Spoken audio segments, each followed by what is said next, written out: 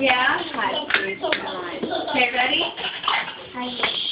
Watch Miss Esther and Miss Nicole so you know what to do, okay?